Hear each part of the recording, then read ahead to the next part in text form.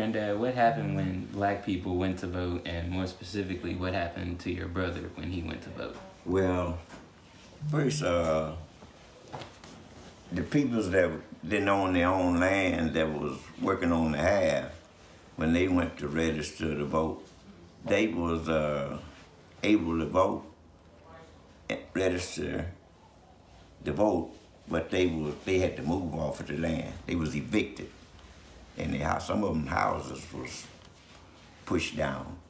They didn't have any place to stay, so uh, it was a tent city put up in Somerville uh, to give uh, the black people some place to live. They didn't have any place to live. They just put off the farms in Fayette County.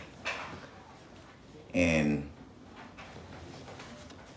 and uh, my brother and various other farmers around there that had their, their own land, they was able to stay on the land, but they was denied uh, diesel for their tractors, farm equipment, you know, to farm their land.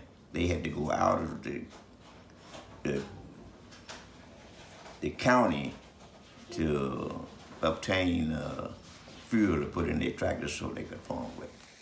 As you just heard, only one generation ago, our people sacrificed their homes, their livelihood, and sometimes even their lives for the right to vote.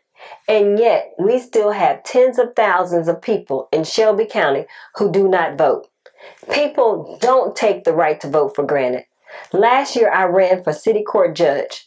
I didn't win, but who knows what may have happened if more people had voted. This election may decide who sits on the Supreme Court and policy decisions that could have a detrimental effect on our lives. So please go vote. Encourage everyone you know to vote.